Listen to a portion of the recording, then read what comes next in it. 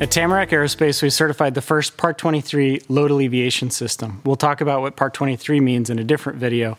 Um, but for certification, what that means is that the FAA is overseeing uh, the design, overseeing the design process, and the end product. The federal aviation regulations are uh, the rules, the, the laws that are uh, applied to a design on an aircraft. There's about 2,000 of these regulations for a Part 23 project. So the FAA has reviewed all of this for our system. Um, in the European Union, there's EASA, which is the equivalent of the FAA over there. Um, they've also reviewed the product and the process used for certification to make sure that it meets all the requirements there. Um, there's great reciprocity between the two agencies, and the rules are pretty similar.